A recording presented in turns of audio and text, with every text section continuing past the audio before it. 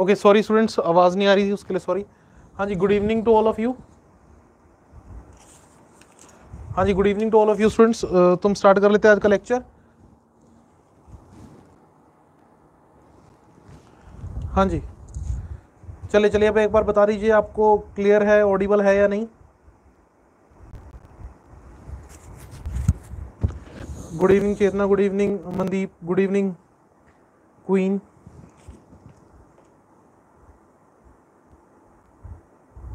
good evening Rekha so good evening to all of you good evening Pratibha चलिए हम यहाँ पे बात कर रहे थे न्यूज़ देख लेते हैं हमारे पास।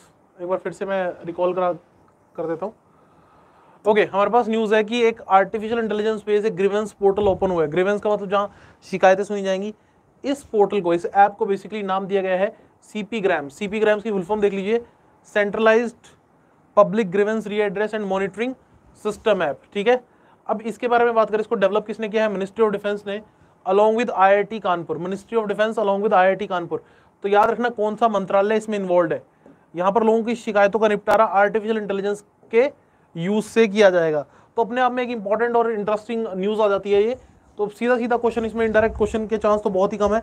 आई की बात करें तो इंडिया के प्रीमियर इंस्टीट्यूट में से एक कंसिडर किए जाते हैं। ओके और अभी हमारा प्रोग्राम भी चल रहा है कि हर स्टेट में एक आईआईटी एस्टेब्लिश की जाए। एक और चीज़ याद रखिएगा, इससे पहले हमारे पास एक संवेदन 2021 नाम से एक हैकाथलोन भी शुरू किया गया था, नेशनल हैकाथलोन। वो किसने शुरू किया था? आईआईटी मद्रास ने। याद रखिएगा आईआईटी मद्रास। ठीक है आईआईटी मद्रास भी भारत के बेस्ट इंजीनियरिंग संस्थान में से एक है। इसने एक प्रोग्राम शुरू किया था, संवेदन 2021 ठीक है वो नोट डाउन कर लेना। संवेदन 2021 सो so, संवेदन 2021 का जो संबंध है वो किससे है? That is subjected to IIT Madras. और हमारे पास अगर हम बात करें artificial intelligence based CP gram को डेवलप किसने किया? आईआईटी कानपुर। तो ये कुछ क्वेश्चन है जो आपने याद रखना एग्ज़ाम पॉइंट से। चलिए जी आगे चलते हैं हमारे पास। डिजिटल प्लेटफॉर्म किसान रथ। ठीक है? किसान रथ किसान सारथी सॉरी किसान सारथी लॉन्च किया गया है डिजिटल प्लेटफॉर्म किसके द्वारा? By the minister of agriculture and farmer welfare अब देखो, यहाँ पर बच्चे, जो चीज़ आपको याद रखनी है, कि ये जो किसान सारथी हमारे पास प्लेटफॉर्म लॉन्च किया गया ऑब्वियसली फार्मर्स की हेल्प करने के लिए लॉन्च किया गया है। हमारे पास कब लॉन्च किया गया इसको? आईसीएआर के फाउंडेशन डे पे। ICAR Indian council of agriculture research एक बहुत ही प्रीमियर इंस्टीट्यूट है, जिसके एस्टेब्लिशमेंट के 93 इयर्स कंप्लीट हुए थे, कब? 16 जुलाई 2021 को। तो इसी दिन ये ऐप लॉन्च की गई है agriculture and farmer welfare minister Narendra Singh Tomar द्वारा। आईसीएआर के बारे में याद रखना बच्चे, इसके डायरेक्टर कौन है? त्रिलोचन महापात्रा। ठीक है? आईसीएआर के करंट डायरेक्टर कौन है?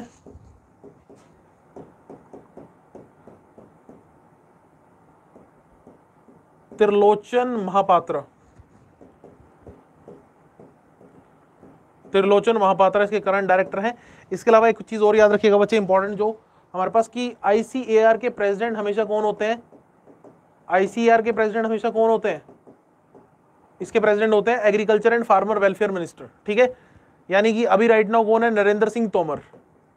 नरेंद्र सिंह तोमर इसके करंट प्रेसिडेंट है आईसीएआर के, ठीक है? Agriculture council of sorry Indian council of agriculture research तो ये ऑर्गेनाइजेशन का नाम याद रखना, और ये वाला पॉइंट जो है वो याद रखना दिमाग में, ठीक है? अच्छे से। चले जी, आगे चलते हैं नेक्स्ट न्यूज़ की तरफ़।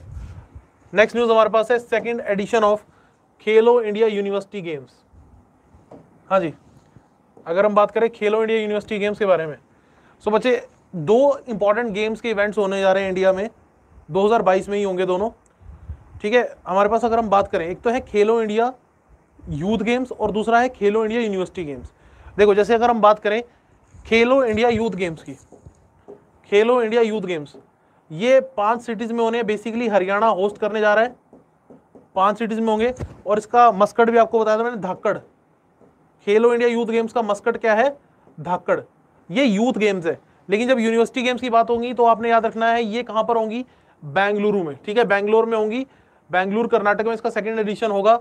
और यहाँ पर चीफ गेस्ट खुद प्राइम मिनिस्टर को इन्वाइट किया गया है, ठीक है? तो यहाँ पर आपने याद रखना है कि एक स्टेडियम भी इंपॉर्टेंट है। श्री कांति रवा कांति रवा स्टेडियम कांति रवा स्टेडियम आपने याद रखना है, पेपर में आ सकता है क्वेश्चन कहाँ पर है? बैंगलोर, कर्नाटक में आपको देखने को मिलेगा कांति रवा स्टेडियम। ऐसा क्वेश्चन आपको पेपर में देखने को मिल सकता है।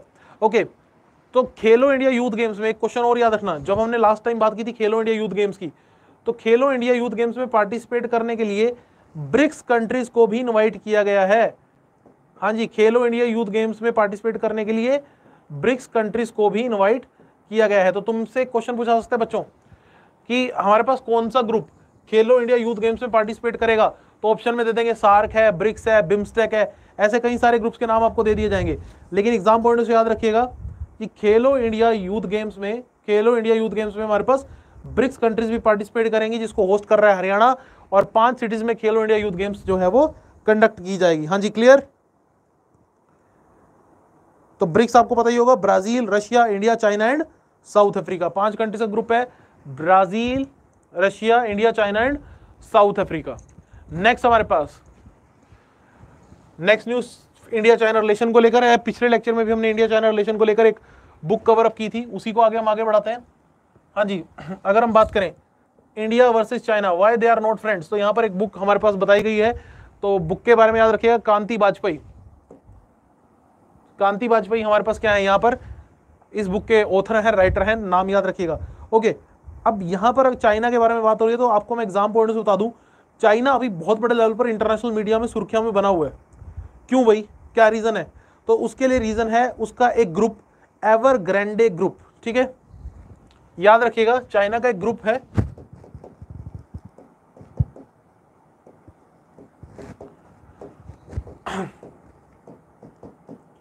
बच्चे ग्रुप याद रख लेना।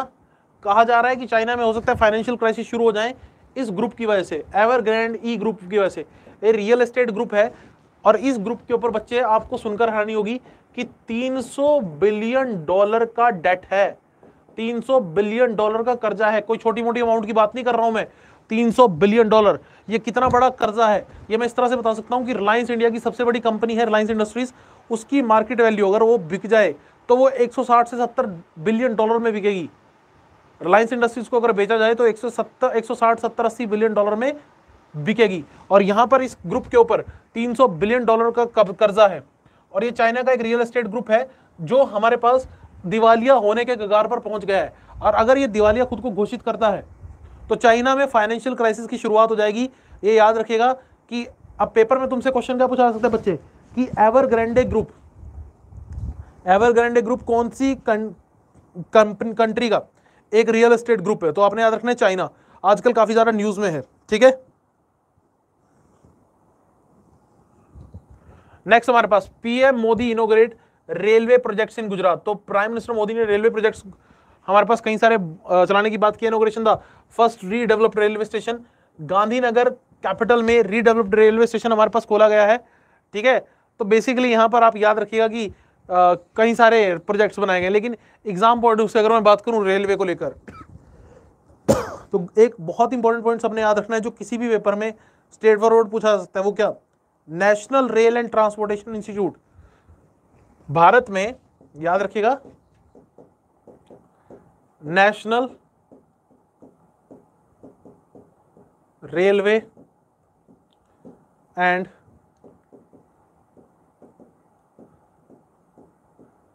transportation institute, national railway and transportation institute, ये भारत में कहाँ ओपन किया गया? बेसिकली रेलवे यूनिवर्सिटी है। तो याद रखिएगा, वडोदरा, गुजरात। कहाँ पर? याद रखिएगा, वडोदरा, गुजरात। ठीक है? National rail and transportation institute, अगर आपको पेपर में पूछ लिया गया कि भारत में कहा, इसका फ़र्स्ट सेशन इसी साल से शुरू हुआ है। ठीक है प्रॉपरली जो बड़ा लेवल पे जो सेशन है, वो इसी साल शुरू किया गया है। ओके नेक्स्ट हमारे पास, एक नए फ्रूट की कल्टीवेशन भारत में शुरू हुई है। हाँ जी, नए फ्रूट की कल्टीवेशन भारत में शुरू हुई है। और वो कौन सा फ्रूट है? मोंग फ्रूट मोंग फ्रूट जो है, अभी तक सिर्फ़ चाइना में उगाया जाता था, लेकिन अब इसको हिमाचल प्रदेश में भी उगाया जाएगा। ऐसा हमारे पास खबर हमें मिली है। तो इसके बारे में भी हम देख लेते हैं क्या कहा जा रहा है। हाँ जी।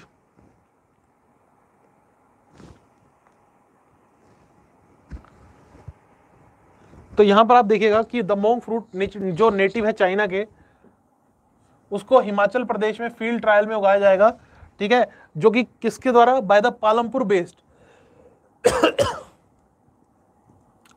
Palampur based council of scientific research and national training institute institute of Himalayan bio resource technology ठीक है? तो यहाँ पर आप देखिएगा कि हमारे पास पालमपुर बेस्ड सिस्टम के द्वारा इसका एक प्रॉपरली ट्रायल कंडक्ट किया जाएगा इसको उगाने की पूरी पूरी कोशिश की जाएगी। अगर ये सब कुछ सही रहा तो हमारे पास एक non caloric natural sweetener fruit हमें मिल पाएगा। जैसे आपको मैं एग्जांपल देके समझाता हूँ। इन फ्रूट्स के उगाने से फ़ायदा क्या होता है? अल्टीमेटली आपको क्या होता है कि इंटरनेशनल मार्केट में रिप्रेजेंटेशन बढ़ जाती है। जैसे एग्ज़ाम्पल के तौर पर आपको बताता हूँ। ड्रैगन फ्रूट की बात करूँ तो ड्रैगन फ्रूट भारत में नॉर्मली पहले नहीं उगाया जाता था। कुछ साल पहले ही भारत में ड्रैगन फ्रूट की कल्टीवेशन जो है वो स्टार्ट की गई है। इसको भारत में कमालम के नाम से जाना जाता है। ड्रैगन फ्रूट को भारत में कमालम के नाम से जाना जाता है। अब आपको जो चीज़ याद रखनी है कि महाराष्ट्र ने पहली बार इस फ्रूट का एक्सपोर्ट किया है। पहली बार इस फ्रूट का एक्सपोर्ट किया और एक्सपोर्ट किसको किया है? यूएई e को यूनाइटेड अरब एमिरेट्स को, ठीक है? So India first time exported exported dragon fruit from Maharashtra to UAE, United Arab Emirates, ठीक है? याद रखिएगा, यूनाइटेड अरब एमिरेट्स को हमने अभी रिसेंटली पहली बार कौन सा फ्रूट एक्सपोर्ट किया है? ड्रैगन फ्रूट जिसको कमालम के नाम से भी जाना जाता है, ठीक है? सो ये जो पॉइंट्स है बेसिकली वो याद रखिएगा। चलिए जी नेक्स्ट न्यूज़ की तरफ़ चलते हैं। ओके नेक्स्ट न्यूज़ हमारे पास 23 million children miss routine vaccination in 2020 अब देखो कोविड की वजह से क्या हो रहा है बच्चे? जो नॉर्मल वैक्सीन होती हैं, अब ऐसा तो है नहीं कि कोविड आया है तो बाकी सारी बीमारियाँ छुट्टी पे चली गई हैं। ऐसा तो नहीं है ना कि कोविड आया और बाकी सारी बीमारियाँ छुट्टी पे चली गई। अभी भी क्या है बच्चे कि अगर हम देखें तो काफ़ी सारी बीमारियाँ ऐसी हैं जो अपना काम तेज़ी से कर ही रही हैं। तो डब्ल्यू और यूनिसेफ ने UNICEF means United Nation children fund UNICEF का हेडक्वार्टर आपको मिलेगा न्यूयॉर्क में, ठीक है? तो इन्होंने हमारे पास एस्टिमेट लगाया है कि इम्यूनाइजेशन जो टीकाकरण की प्रणाली होती है, उसमें 23 मिलियन बच्चे इस बार मिस हो गए हैं जस्ट बिकॉज़ ऑफ़ कोविड हाँ जी क्लियर हाँ जी 2020 में हमारे पास, और इसमें टॉप किसने किया है? इंडिया ने। सबसे ज़्यादा बच्चे इंडिया में अपनी वैक्सीनेशन मिस कर गए हैं। और इसमें कौन कौन सी वैक्सीन है हमारे पास मेनली डैप्थीरिया टेटनस ये सब। एक, दो क्वेश्चन दो तीन क्वेश्चन मैं आपको बताना चाहूँगा। पहली बात तो बच्चे डब्ल्यूएचओ का जो वैक्सीन को लेकर कोविड वैक्सीन को लेकर प्रोग्राम चल रहा है, उसका नाम याद रखना कोवैक्स मैंने पहले भी डिस्कस किया है। पूरे वर्ल्ड में वैक्सीनेशन प्रोग्राम को आगे बढ़ाने के लिए एक ऑर्गेनाइजेशन काम करती है। वैक्सीनेशन प्रोग्राम को आगे बढ़ाने के लिए एक ऑर्गेनाइजेशन काम करती है गावी गावी क्या है? हाँ जी। ग्लोबल अलायंस गावी क्या है? Global alliance for vaccination global alliance for vaccination and immunization. Global alliance for vaccination and immunization, ठीक है? इसको हमारे पास, इस ऑर्गेनाइजेशन को रिस्पॉन्सिबल माना जाता है कि पूरे वर्ल्ड में ये वैक्सीनेशन को एग्जीक्यूट कराए। इसका गावी का हेडक्वार्टर जिनीवा, स्विट्जरलैंड में है। और WHO का हेडक्वार्टर भी आपको कहाँ देखने को मिलेगा? जिनीवा स्विट्जरलैंड में। सो so ये बेसिक बेसिक पॉइंट्स हैं, याद रखना कि पूरे वर्ल्ड में वैक्सीनेशन को लेकर जो ऑर्गेनाइजेशन मेनली काम करती है, उसका नाम है गावी गावी की फुल फॉर्म है global alliance for vaccination and immunization WHO की फुल फॉर्म तो आपको पता ही होगी वर्ल्ड हेल्थ ऑर्गेनाइजेशन और डब्ल्यूएचओ का एक प्रोग्राम चल रहा है पूरे वर्ल्ड में वैक्सीन कोविड की वैक्सीन प्रोवाइड करने के लिए दैट इज़ कोवैक्स एक और important question government of India ने कौन सा प्लान चलाया हुआ है? सेंट्रल गवर्नमेंट का कौन सा प्लान चल रहा है? बच्चों के टीकाकरण को लेकर वैक्सीनेशन को लेकर। सो याद रखना मिशन इंद्रधनुष। हमारे पास कौन सा प्रोग्राम चल रहा है?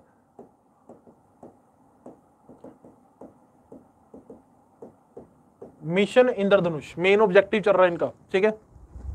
गवर्नमेंट का मेन ऑब्जेक्टिव ठीक है? मिशन इंद्रधनुष। हाँ जी बच्चे, यहाँ तक किसी को कोई डाउट जल्दी से बता दो, इस न्यूज़ में किसी को कोई डाउट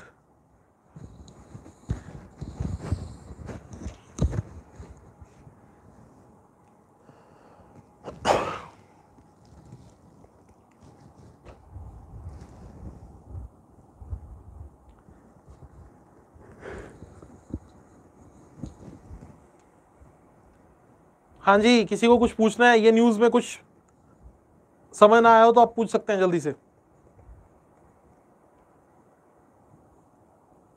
ओके आगे चलते हैं नेक्स्ट न्यूज़ की तरफ़ आगे बढ़ते हैं।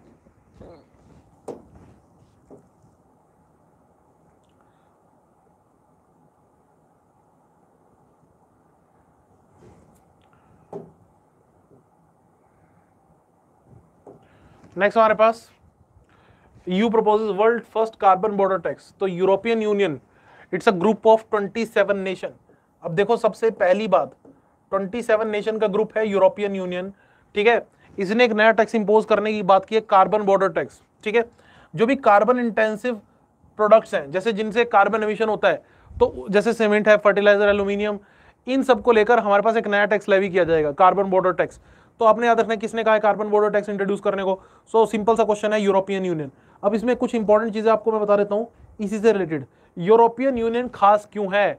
What is special about European Union European Union खास एग्ज़ाम पॉइंट से अगर मैं बात करूँ, इस वजह से खास है कि out of these 27 countries 19 countries officially use euro इन 27 देशों में से 19 ने यूरो को अपनी ऑफिशियल करेंसी डिक्लेयर किया हुआ है euro as their currency okay अब क्वेश्चन आपके दिमाग में आना चाहिए कि यूरो को प्रिंट रेगुलेटर मेंटेन कौन करता है?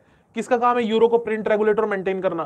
तो 1998 में इसके लिए एक बैंक बनाया गया that is known to be European central bank that is known to be European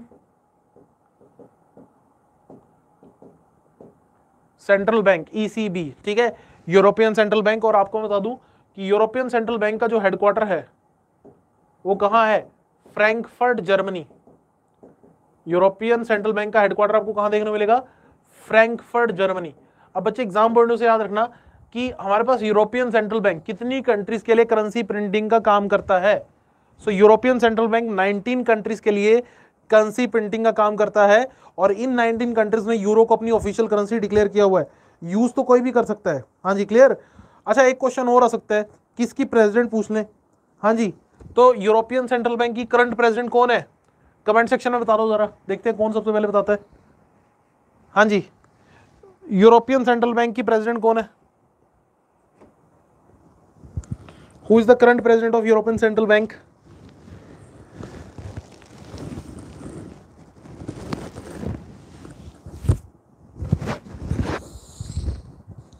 okay चलो मैं ही बता देता हूँ, क्रिस्टीन लगाडे नहीं पता किसी को तो क्रिस्टीन लगाडे, ठीक है? फॉर्मर हमारे पास आईएमएफ की हेड हुआ करती director general now she became the president of European central bank ठीक है? क्रिस्टीन लगाडे, ठीक है? चले जी नेक्स्ट न्यूज़ की तरफ़ चलते हैं। यूरोपियन सेंट्रल बैंक के बारे में याद रखना सब लोग, ठीक है?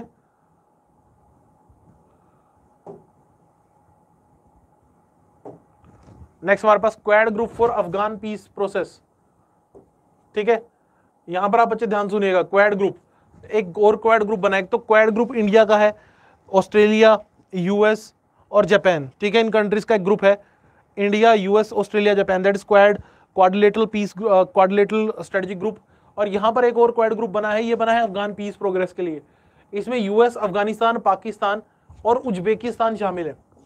आपसे मेनली फोर्थ कंट्री का नाम पूछा जा सकता है जो बेसिकली यहाँ से पूछा जाएगा वो है उज्बेकिस्तान ठीक है? हाँ जी क्लियर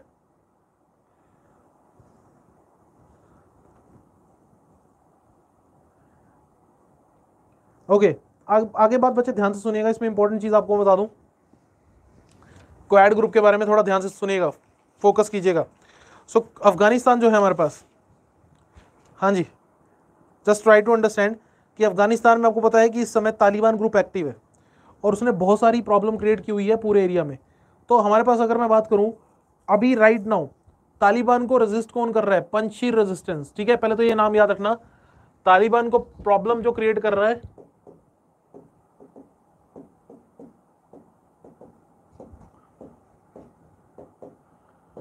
पंचशीर एरिया में रेजिस्टेंस है इसके खिलाफ। ऑलमोस्ट पूरे अफ़गानिस्तान पे तालिबान कब्जा कर चुका है और डेली अजीबोगरीब फरमान इसके यहाँ आ जाते हैं, ठीक है? ये तालिबान ग्रुप हमारे पास देवबंदी मूवमेंट से प्रेरित है, देवबंदी मूवमेंट, देवबंदी इस्लामी मूवमेंट। ये देवबंद कहाँ है? ये भारत में ही है, देवबंदी इस्लामी मूवमेंट, यूपी में। तो देवबंदी इस्लामी मूवमेंट से ही प्रेरित होकर तालिबान जो है, वो आगे बढ़ रहा है। हाँ जी क्लियर अगर हम आगे इसके रिलेटेड बात करें तो आपने बच्चों बच्चों, एक बात और याद रखनी कि तालिबान को ब्लैक टर्बन गवर्नमेंट भी कहा जाता है, ठीक है? तालिबान गवर्नमेंट को ब्लैक टर्बन गवर्नमेंट भी कहा जाता है, क्योंकि ये ब्लैक टर्बन बांधकर रखते हैं, ठीक है?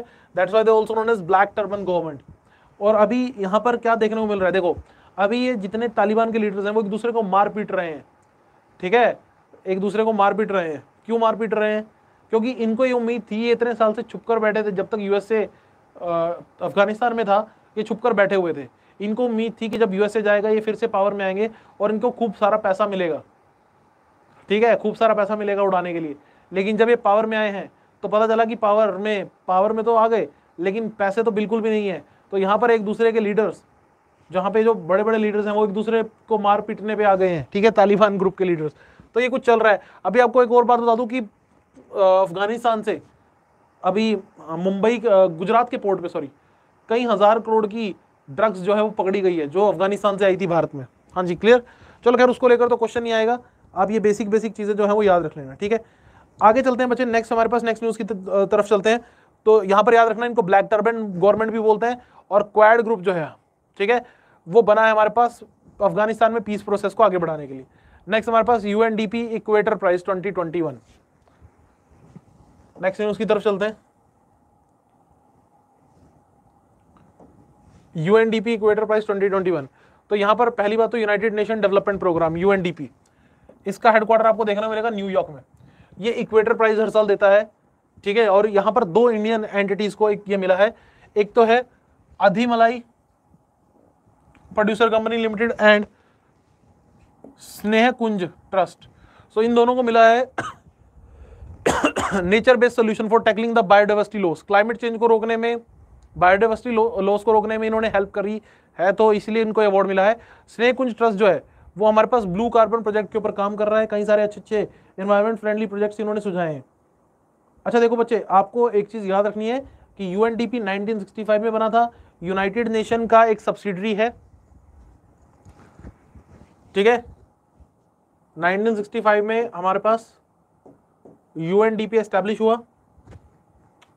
हेडक्वार्टर इसका न्यूयॉर्क में है। ठीक है? अच्छा बच्चों, मुझे एक चीज़ बताना। न्यूयॉर्क ये जो सॉरी यूएन है यूनाइटेड नेशन है, इसकी काफ़ी सारी सब्सिडरीज है। एक हमारे पास यूनाइटेड नेशन यूनिवर्सिटी भी है। बैंक एग्ज़ाम में एक बार क्वेश्चन आया था कि यूनाइटेड नेशन यूनिवर्सिटी कहाँ पर है? हाँ जी यूनाइटेड नेशन यूनिवर्सिटी आपको कहाँ पर देखने को मिलेगी? कमेंट सेक्शन में जरा कमेंट करके बताना।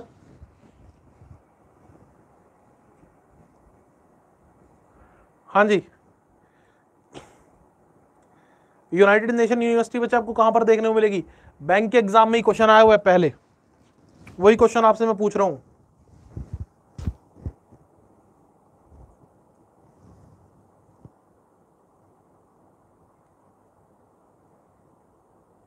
वेरी गुड मनदीप कौर ने सही आंसर दिया है। Tokyo Japan very good Mandeep सबसे पहले उन्होंने आंसर दिए। तो बच्चे, आपको यूनाइटेड नेशन यूनिवर्सिटी आपको देखने को मिलेगी टोक्यो में। टोक्यो, जापान, यानी यूनाइटेड नेशन यूनिवर्सिटी आपको जापान में देखने को मिलेगी। चलिए जी, आगे चलते हैं नेक्स्ट न्यूज़ की तरफ़। I M A I appointed Google M D Google India M D Sanjay Gupta as its chairman तो यहाँ पर आप देखिएगा कि संजय गुप्ता को चेयरमैन बनाया गया है internet and mobile association of India ये वो एंटिटी है जो हमारे पास मोबाइल कम्युनिकेशन को लेकर काम करती है। ओके नाम से काफ़ी कुछ आपको क्लियर हो गया होगा। हाँ जी। चलिए जी, आगे चलते हैं हमारे पास। इसी में अगर हम बात करें, देखो बच्चे, जो टेलीकॉम सेक्टर है, वो बहुत इंपॉर्टेंट सेक्टर है भारत में। टेलीकॉम सेक्टर में एक तो ये ऑर्गेनाइजेशन बहुत इंपॉर्टेंट है। टेलीकॉम सेक्टर की जब मैं बात करूँ internet and mobile association of India और दूसरा एक और बहुत इंपॉर्टेंट ऑर्गेनाइजेशन है, जो इस पूरे टेलीकॉम सेक्टर को कंट्रोल और रेगुलेट करती है ट्राई टेलीकॉम सेक्टर को कंट्रोल और रेगुलेट करने की रिस्पॉन्सिबिलिटी किसकी है? ट्राई की। ठीक है? That is telecom regulatory authority of India telecom sector को कंट्रोल और रेगुलेट करने की रिस्पॉन्सिबिलिटी ट्राई की है, ठीक है? और ट्राई के चेयरमैन का नाम याद रखना, ये किसी भी एग्ज़ाम में आपसे पूछा जा सकता है। पीडी वघेला ठीक है? P D Vaghela current chairman of TRAI TRAI here means telecom regulatory authority of India चले आगे चलते हैं नेक्स्ट न्यूज़ की तरफ़। Reliance acquired 40.95 stake in Just Dial तो जस्ट डायल के अंदर हमारे पास। अब जस्ट डायल की बात हम यहाँ पे कर रहे हैं।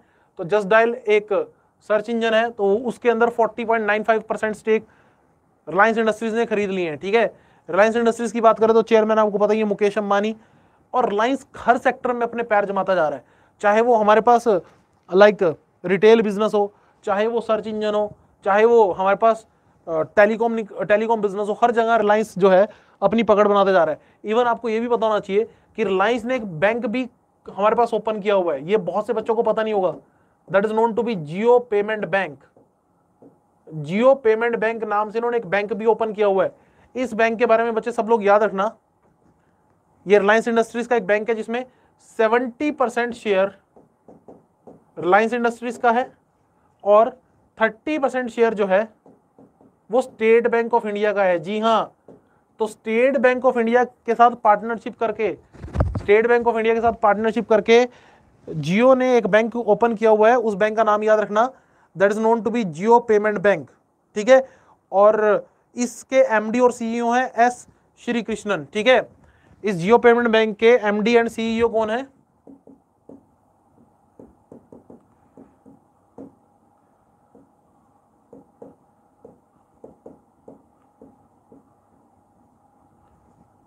Okay so he is the current Shri Krishnan ठीक है? He is the current CEO MD of this particular bank चलिए जी, आगे चलते हैं हमारे पास। नेक्स्ट नेक्स्ट न्यूज़ शायद आप कल भी इसके बारे में बात कर चुके थे कि first bank first batch of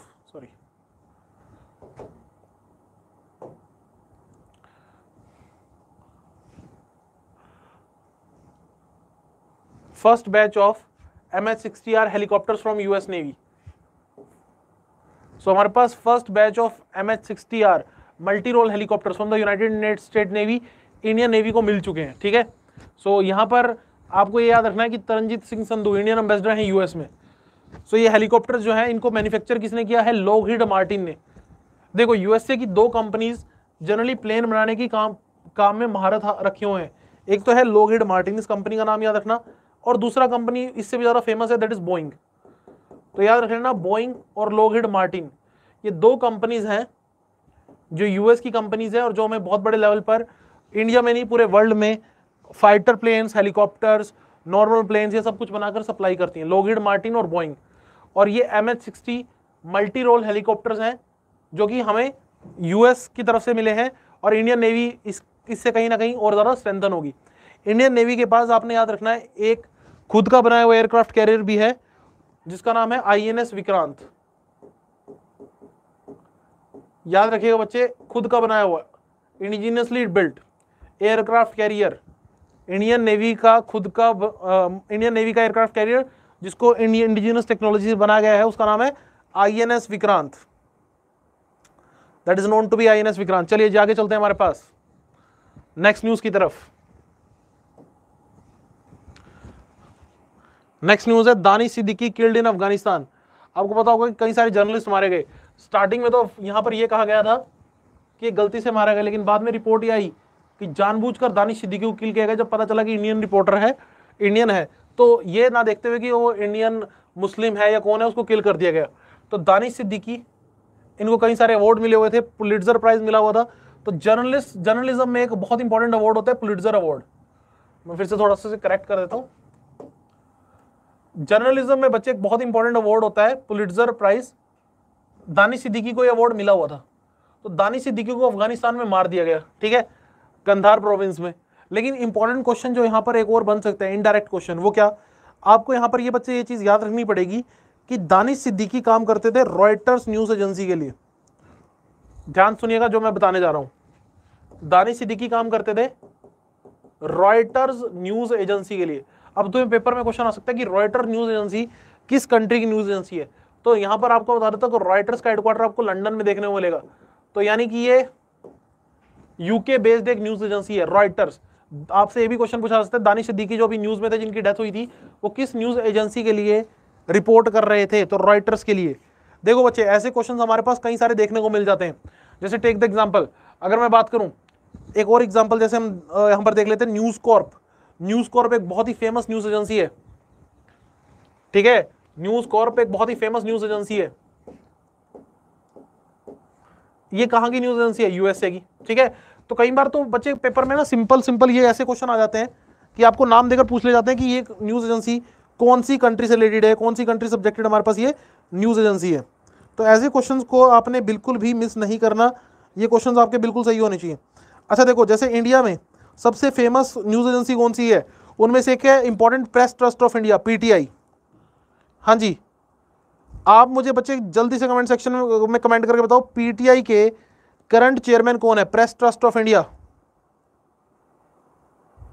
सबसे बड़ी न्यूज़ एजेंसी है भारत की press trust of India PTI अगर आप कभी किसी का इंटरव्यू वगैरह देख रहे हो, किसी बड़ी पर्सनैलिटी का तो पीटीआई का माइक वहाँ पर देखने को मिलता है।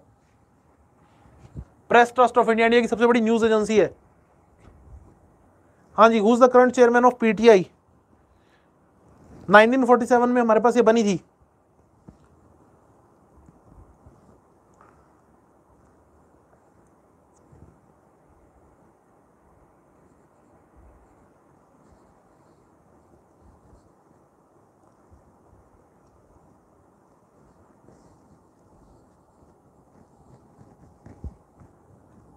ओके okay, नहीं पता कोई बात नहीं। चलिए जी। ऑप्शन से याद आएगा। चलो कोई बात नहीं। नोट डाउन कर लेना, अवीक सरकार। ये इंडिया की सबसे बड़ी न्यूज़ एजेंसी है तो इसके चेयरमैन का नाम तो आपको वैसे ही पता होना चाहिए। अवीक सरकार।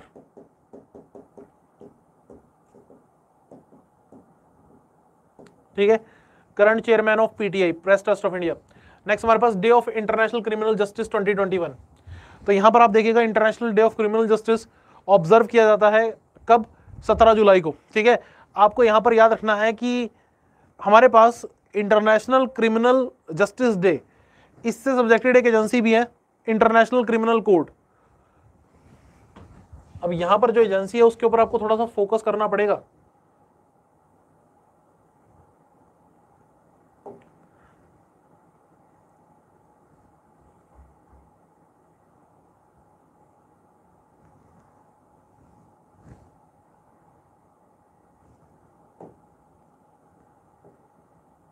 ओके सो यहाँ पर एक एजेंसी है जिसके बारे में हम बात कर रहे हैं इंटरनेशनल क्रिमिनल कोर्ट आईसीसी अब ये जो इंटरनेशनल क्रिमिनल कोर्ट है, ठीक है? जब मैं इसके बारे में बात करता हूँ, क्या इंडिया इसका मेंबर है? तो आंसर है नो इंडिया इसका मेंबर नहीं है. इंटरनेशनल क्रिमिनल कोर्ट कहाँ पर स्थित है? ये क्राइम अगेंस्ट ह्यूमैनिटी उन सब केसेस को डील करती है. जीनोसाइड क्राइम अगेंस्ट ह्यूमैनिटी ये हमारे पास आपको देखने को मिलेगी द हेग नीदरलैंड में. ये आपको देखने को मिलेगी द हेग नीदरलैंड में। हाँ जी क्लियर एग्ज़ाम पॉइंट उससे अगर मैं बात करूँ बच्चे, एक क्वेश्चन और इंपॉर्टेंट है, ठीक है? एक क्वेश्चन और इंपॉर्टेंट आ जाता है कि इसके कितने मेंबर्स हैं? तो वो भी आप लिख लीजिए 123 मेंबर्स हैं, ठीक है? इसका जो हेडक्वार्टर है, वो है हमारे पास हेग नीदरलैंड में। और इसके कितने मेंबर कंट्रीज़ हैं? 123 123 मेंबर्स हैं आईसीसी के इंटरनेशनल क्रिमिनल कोर्ट के, ठीक है? चलो, आगे चलते हैं हमारे पास नेक्स्ट न्यूज़ की तरफ़।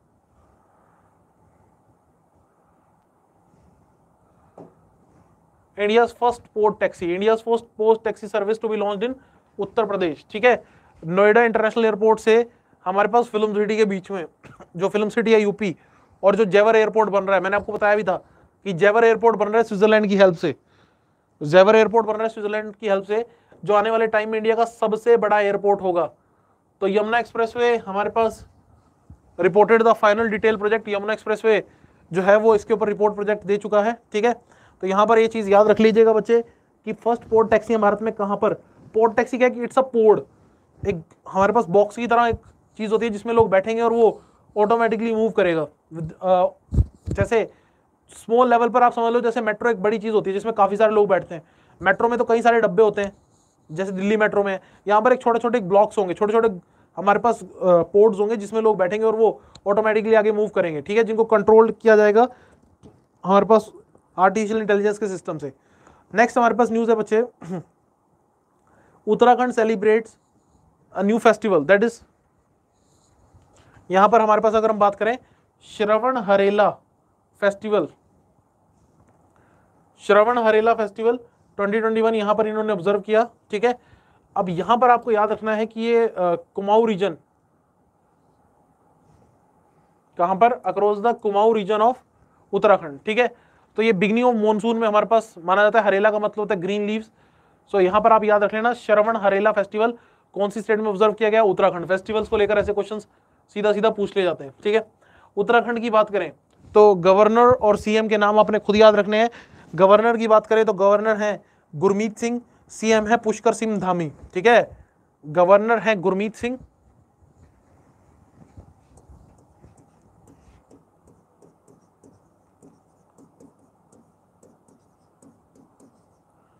और हमारे पास सी एम है पुष्कर सिंह धामी ठीक है? नेक्स्ट हमारे पास Cannes film festival 2021 next news हमारे पास कैनास फ़िल्म फेस्टिवल। हर बार की तरह हमारे पास ये फ्रांस में ऑब्ज़र्व किया गया कैनस फ्रांस में। तो फ्रांस में ये ऑब्ज़र्व किया जाता है हर साल बच्चे। तो इसमें हमारे पास न्यूज़ क्या है? इंपॉर्टेंट पॉइंट क्या है? तो हमारे पास यहाँ पर एक हमारे पास शॉर्ट मूवी थी नाइट ऑफ़ नोइंग नथिंग जिसको इंडिया की पायल कपाड़िया ने डायरेक्ट किया था। तो उसको मिला है golden eye award for the best documentary so golden eye award किसको मिला है? तो अगर आपसे क्वेश्चन पूछ लिया गया तो याद रखिएगा पायल कपाड़िया, ठीक है? Payal Kapadia got the new sorry got the 2021 golden eye award for his document for her documentary night of knowing nothing अच्छा अभी हमारे पास यहाँ पर लिखा हुआ है union information broadcasting minister Prakash Javadekar लेकिन अभी वो चेंज हो चुके हैं who is the current minister of information and broadcasting हाँ जी बच्चे कमेंट सेक्शन में कमेंट करके बताना who is the current minister of information and broadcasting हाँ जी बच्चे who is the current minister of information and broadcasting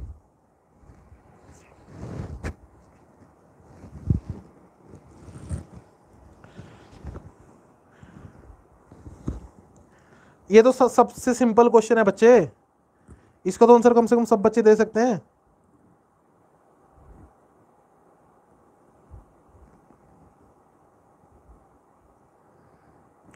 तो हमारे पास शैंकी ने आंसर कर दिया सबसे पहले अनुराग ठाकुर, ठीक है? अनुराग ठाकुर हमारे पास अब यूनियन मिनिस्टर हैं, हिमाचल प्रदेश से and he is the current minister of information and broadcasting ठीक है? मनदीप सिंह ने, आशा नैन ने, इन्होंने भी सही आंसर किया है, ठीक है? चलिए, आगे चलते हैं हमारे पास। Russia test fire zircon hypersonic cruise missile अब देखो, रशिया अपने डिफेंस वेपन्स के लिए जाना जाता है तो ट्रिस्कन या हमारे पास जिक्रन, जिरकोन, नाम दिया गया है हाइपरसोनिक। हाइपरसोनिक क्या होता है? पहले तो बच्चे होता है सुपरसोनिक। सुपरसोनिक में जो हमारे पास स्पीड होती है,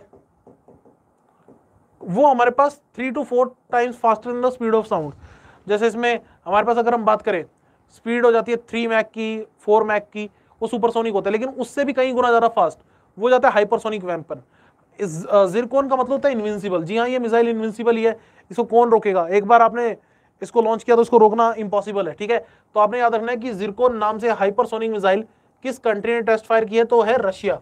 अच्छा रशिया और इंडिया की अगर मैं बात करूँ तो आपको याद रखना है कि इंडिया और रशिया मिलकर एक मिसाइल बनाते हैं। इंडिया और रशिया मिलकर कौन सी मिसाइल पे काम करते हैं? जो इन दोनों ने बनाई हुई है। सिंपल सा क्वेश्चन है, बहुत सिंपल। हाँ जी, कौन सी missile? BrahMos. BrahMos missile India और रशिया ने मिलकर बनाई हुई है। अभी आपको एक चीज़ और याद रखनी पड़ेगी बच्चे, बहुत इंपॉर्टेंट कि इंडिया ने रशिया से S four hundred missile defence system खरीदा है। इंडिया ने रशिया से S four hundred missile defence system जो है वो परचेज किया है। तो इसकी डिलीवरी इस साल के एंड एंड तक 2021 के एंड तक होने की पूरी उम्मीद है। 2021 के एंड तक S four hundred missile defence system हमें मिल जाएगा। तो ये वर्ल्ड के बेस्ट मिसाइल डिफेंस सिस्टम में से राइट नाउ एक है। और रशिया भी काम कर रहा है एस फाइव हंड्रेड पे। हाँ जी क्लियर रशिया भी बच्चे काम कर रहे हैं एस फाइव हंड्रेड पे। और अभी रशिया की जो मिनिस्ट्री है, वहाँ से एक बयान आया था बहुत बहुत, एक अच्छा बयान, ठीक है? जो इंडिया के पॉइंट ऑफ़ व्यू से काफ़ी अच्छा बयान था। उन्होंने कहा कि एस फाइव हंड्रेड जो हम मिसाइल डिफेंस सिस्टम लॉन्च करने वाले हैं फ्यूचर में इंडिया उसका फ़र्स्ट बायर हो सकता है। जी हाँ जो एस फाइव सिस्टम ये लॉन्च करने वाले हैं इंडिया उसका फ़र्स्ट बायर हो सकता है, बहुत बड़ी बात है, क्योंकि एस फाइव हंड्रेड और एस फोर हंड्रेड में बहुत फ़र्क है बच्चे। S four hundred S five hundred में बहुत फ़र्क है। कैसे फ़र्क है मैं आपको बताता हूँ कि ये हमारे पास generally normal four hundred range में प्रोटेक्शन दे सकता है। एस फाइव हंड्रेड जो दुश्मन के सेटेलाइट्स जो हमारे पास ऑब्जर्वेशन सेटेलाइट्स होते हैं, उनको भी मार गिरा सकता है। जी हाँ एस फाइव हंड्रेड के पास इतनी कैपेबिलिटी है कि अगर आसमान में कोई सेटेलाइट आपके ऊपर नज़र रख रहा है तो एस फाइव हंड्रेड उसको भी मार गिरा सकता है। तो एस फोर हंड्रेड की डील तो इंडिया ने साइन कर ली है और डिलीवरीज की हो जाएगी 2021 के एंड तक। लेकिन आप देखिएगा कि जल्दी ही जल्दी ही हमारे पास आपको एक और डील हो साइन होती हुई दिखाई दे सकती है इस साल के अंदर ही। वो S five hundred missile defence system को लेकर है। तो एक अच्छा साइन रहेगा अगर हम एस फाइव हंड्रेड भी एक्वायर कर पाए तो। अभी कंफर्मेशन तो नहीं है, लेकिन हमारी उम्मीद है कि वो सिस्टम भी हमें मिल जाएगा। चलिए आगे चलते हमारे पास next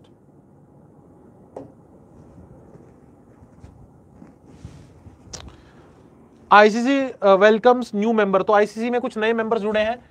ICC air means international cricket council so ICC आपको पता है कि दुबई से हमारे पास ऑपरेट करता है और ग्रेग बार्सले आपको मैंने बताया वो इसके हेड हैं राइट नाउ तो मंगोलिया, तजिकिस्तान, स्विट्जरलैंड, ये नए मेंबर बने हैं हमारे पास आईसीसी के। आईसीसी का हेडक्वार्टर याद रख लेना, दुबई यूएई ठीक है? इंटरनेशनल क्रिकेट काउंसिल तो बच्चे, एक बात याद रखना आईसीसी इंटरनेशनल क्रिकेट काउंसिल भी है, लेकिन आईसीसी इंटरनेशनल क्रिमिनल कोर्ट भी है। और इंटरनेशनल क्रिमिनल कोर्ट का हेडक्वार्टर आपको द हेग नीदरलैंड में देखने को मिलेगा। ठीक है? तो ये दोनों पॉइंट्स याद रख लेना। पेपर पॉइंट उसे कि बात किसकी हो रही है? तो ये थोड़ा सा याद रखना ज़रूरी है कि बात किसकी हो रही है यहाँ पर।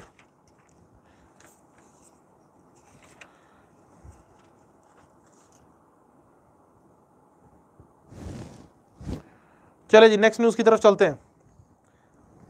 नेक्स्ट न्यूज़ है British grand prix 2021 so British grand prix यानी कि यूके में हुई थी, ठीक है? किसने जीत ली है? हमारे पास मर्सिडीज के ड्राइवर लुइस हैमिल्टन ने। लुइस हैमिल्टन एक ब्रिटिश प्लेयर ही हैं। देखो जो ये ग्रैंड प्रिक्स होती है एफ़ वन रेसिंग इसे फॉर्मूला वन रेसिंग भी बोलते हैं। F one racing formula one racing तो बच्चे, इसमें बस आपने जो चीज़ याद रखनी है, एक तो विनर का नाम याद रखना होता है, उसकी टीम याद रखनी होती है। टीम कौन सी थी? लुइस हैमिल्टन की मर्सिडीज ठीक है? और उसकी नेशनैलिटी नेशनैलिटी है ब्रिटेन ठीक है यूके से हमारे पास ये है। अच्छा यूके की जब मैं बात करूँ यूके कुछ टाइम पहले भी न्यूज़ में था, ठीक है? अभी हमने यूरोपियन यूनियन की बात की थी तो इन्होंने कुछ साल हमारे पास, कुछ टाइम पहले यूरोपियन यूनियन को छोड़ दिया था, जिसको नाम दिया गया था ब्रिक्सिट अब ब्रिक्सिट तो पेपर में नहीं आने वाला। फिर मैं आपको ब्रिक्सिट का क्यों बता रहा हूँ? क्योंकि ब्रिक्सिट क्या था कि इन्होंने यूरोपियन यूनियन की मेंबरशिप छोड़ दी थी। यूरोपियन यूनियन को छोड़कर ये एग्जिट कर गए थे दैट इज़ ब्रिक्सिट अब हमारे पास एक और नई टर्म सुनने को मिल रही है दैट इज़ हक्सेट ये याद रखना पेपर में आपसे ये पूछा जा सकता है कि हक्सिट क्या है? एक्चुअली हंगरी हंगरी एक और कंट्री है हमारे पास यूरोप में, जो अभी यूरोपियन यूनियन का मेंबर है। याद रखिएगा हंगरी यूरोपियन यूनियन का मेंबर है, लेकिन उसने यहाँ पर हाँ जी, एक, हमारे पास एक ऐलान किया था अभी कुछ टाइम पहले कि वो भी जल्दी ही यूरोपियन यूनियन को छोड़ देंगे। तो अगर ये यूरोपियन यूनियन को छोड़ते हैं तो इसको प्रोसेस को नाम दिया गया हक्सेट तो आपने याद रखना है कि हक्सिड का संबंध किससे है? यूरोपियन यूनियन और हंगरी से। हक्सिड का संबंध किससे है? यूरोपियन यूनियन और हंगरी से। हाँ जी क्लियर बच्चे? तो ये दोनों चीज़ें याद रख लेना एग्ज़ाम पॉइंट से रेलिवेंट और एग्ज़ाम पॉइंट से इंपॉर्टेंट हाँ जी क्लियर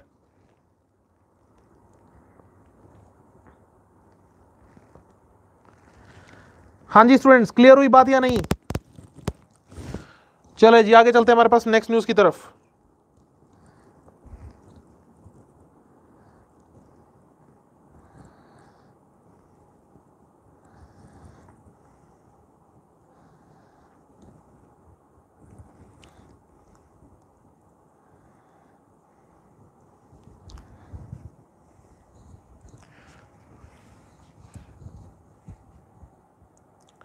नेक्स्ट हमारे पास Nelson Mandela international day 2021 so Nelson Mandela हमारे पास साउथ अफ्रीकन बोर्न पर्सन ठीक है, जिन्होंने हमारे पास ह्यूमन राइट्स को लेकर काम किया तो अफ्रीका स्ट्रगल तो इनको लेकर एक डे ऑब्ज़र्व किया जाता है एटीन ऑफ़ जुलाई को, ठीक है for the recognition of the contribution ठीक है, और यहाँ पर आपने याद रखना है कि थीम क्या रही 2021 नेल्सन मंडेला डे की one hand can feed another ये याद रख लेना।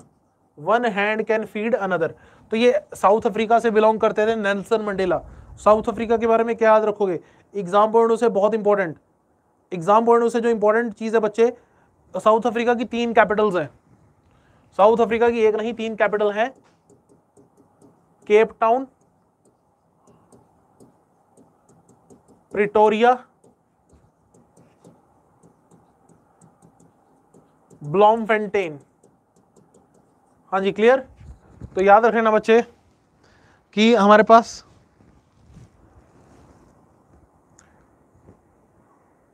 साउथ अफ्रीका की एक नहीं तीन कैपिटल है केपटाउन प्रिटोरिया और ब्लॉम फेंटेन ठीक है? और इसी तरह से ऑप्शन में आपसे ये भी पूछा सकता है कि इनमें से कौन सी आ, सिटी साउथ अफ्रीका की कैपिटल नहीं है ठीक है? ज़्यादातर बच्चे हमारे पास यही जानते हैं कि केप टाउन उनका एक फ़ेमस शहर है ठीक है? जोहानसबर्ग उनका फ़ेमस शहर है तो वो ऑप्शन में आपको दे सकते हैं कि इनमें से कौन सी स्टेट या कौन सी सिटी साउथ अफ्रीका कैपिटल नहीं है। तो साउथ अफ्रीका की तीन कैपिटल्स हैं केपटाउन प्रिटोरिया और ब्लमफंटेन ठीक है, तीनों नाम याद रख लेना। तीनों नाम एग्ज़ाम पॉइंट से इंपॉर्टेंट ठीक है? हाँ जी बच्चों, आगे चलते हैं हमारे पास नेक्स्ट न्यूज़ की तरफ़।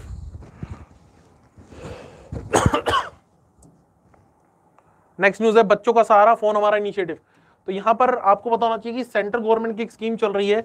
स्कीम का नाम है समग्र शिक्षा अभियान। अगर आपको याद हो, कुछ टाइम पहले भी इसके बारे में बात हुई थी, पहले ये न्यूज़ देख लेते हैं, फिर इससे रिलेटेड और क्या न्यूज़ थी हमारे पास वो भी देख लेते हैं। तो यामी गौतम, ठीक है फ़ेमस एक्ट्रेस हैं बॉलीवुड की। तो इन्होंने हिमाचल प्रदेश गवर्नमेंट के साथ मिलकर एक कैंपेन लॉन्च की। वो क्या? डिजिटल साथी, बच्चों का सहारा फ़ोन हमारा, जिसमें बच्चों को डिजिटल फ़ोन हमारे पास डोनेट किए गए ताकि वो ऑनलाइन लर्निंग प्रोसेस को आगे बढ़ा सकें। अब इसमें बच्चे एक चीज़ इंपॉर्टेंट चीज़ क्या है कि अभी कुछ टाइम पहले ये समग्र शिक्षा अभियान न्यूज़ में था। क्यों? जो हमारे पास लवलीना, जो कि एक फ़ेमस बॉक्सर हैं। ध्यान सुनिएगा, लवलीना जो एक फ़ेमस बॉक्सर हैं, अभी ओलंपिक में मेडल जीत कर लाई हैं भारत के लिए। असम स्टेट ने उनको समग्र शिक्षा अभियान का, समग्र शिक्षा अभियान का अम्बेसडर नियुक्त किया था, अगर आपको याद हो थोड़ा सा। हाँ जी क्लियर लवलीना को असम से हमारे पास समग्र शिक्षा अभियान का अम्बेसडर नियुक्त किया गया था तो ये भी एक इंपॉर्टेंट क्वेश्चन है, ठीक है? और अभी समग्र शिक्षा अभियान को लेकर हम एक और बात कर रहे हैं कि बच्चों का सहारा फ़ोन हमारा इनिशिएटिव किसने लॉन्च किया है? हिमाचल प्रदेश गवर्नमेंट ने, ठीक है? और इसमें अम्बेसडर किसको बनाया गया यामी गौतम को। चलिए जी, आगे चलते हैं हमारे पास। नेक्स्ट न्यूज़ की तरफ़।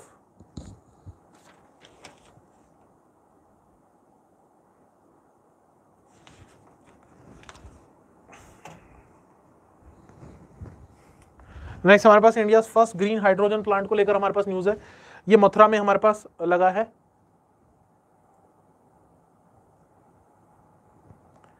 Indian oil corporation IOCL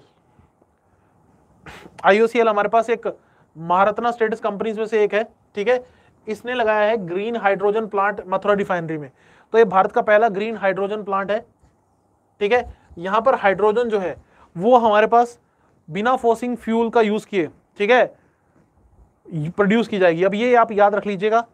okay सीधा सीधा क्वेश्चन अच्छा मेरे को एक क्वेश्चन बताना आप लोग एक क्वेश्चन मैं आपसे पूछता हूँ आंसर बताइएगा कि आ, हमारे पास भारत में कितनी महारत्ना स्टेटस कंपनीज़ है? भारत में कितनी ऐसी कंपनीज़ है जिनको महारत्ना स्टेटस मिला हुआ है?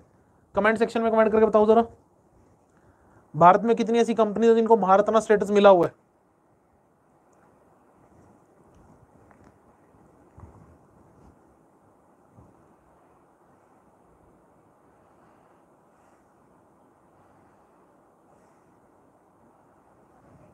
ओके शुभम चड्डा कह रहे हैं नाइन अमनदीप सिंह कह रहे हैं, दस। और बाकी और कुछ बच्चे भी दस कह रहे हैं हमारे पास, जैसे अभी कमेंट आया मेरे पास मनदीप कौर का।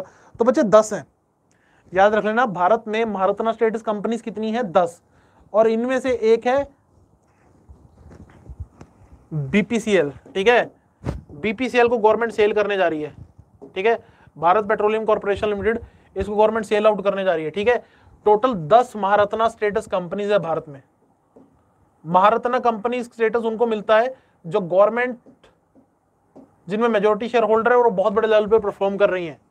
ओके नेक्स्ट हमारे पास Indo Nepal trial movement of first train तो इंडिया नेपाल के बीच में एक ट्रेन चलाई गई है Jaynagar Kurtha railway station link ठीक है, यहाँ पर हमारे पास पहली एक ट्रेन चलाई गई है। ठीक है, ये कहाँ से कहाँ तक चलेगी? जयनगर मधुबनी डिस्ट्रिक्ट बिहार से नेपाल के कुर्था तक।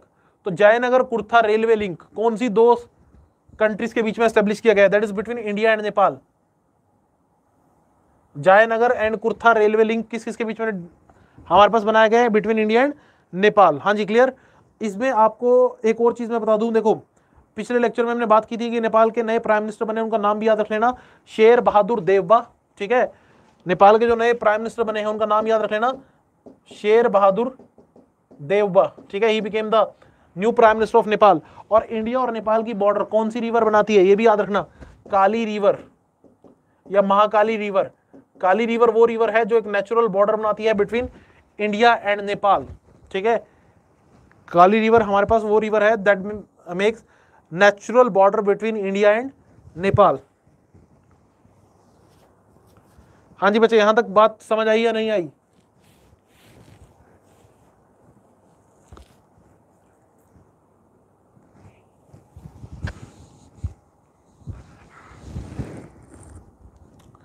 चलो जी नेक्स्ट हमारे पास अगली न्यूज़ की तरफ़ चलते हैं।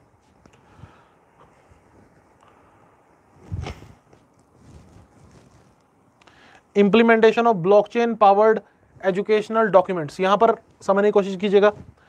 ब्लॉकचेन पावर्ड एजुकेशनल डॉक्यूमेंट्स की बात हो रही है। अब ये ब्लॉकचेन आपको मैंने बताया था कि सबसे पहले ब्लॉकचेन का जो यूज़ है, वो कहा हुआ था? बिटकॉइन में। आज के डेट में ब्लॉकचेन का यूज़ अलग अलग जगहों पर करने की बात चलती है। और अभी यहाँ पर महाराष्ट्र गवर्नमेंट ने क्या कहा है? कि with the help of LegitDoc एक ब्लॉकचेन बेस्ड एक स्टार्टअप कंपनी एक नई कंपनी है।